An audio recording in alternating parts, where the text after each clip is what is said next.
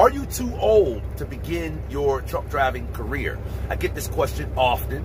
And I would say to the people that's asking that, that your age has very little to do with it. Employers aren't concerned with that, I would say. The main thing you need to be wondering about or asking about is not your age, it's your health. You're going to need to pass a DOT physical to get your CDL. You need to have good eyesight, you need to have good hearing, good blood pressure, normal use of your limbs, I would assume, um, to get your CDL. And after you get your CDL, as long as you got a good driving record, employers don't really care.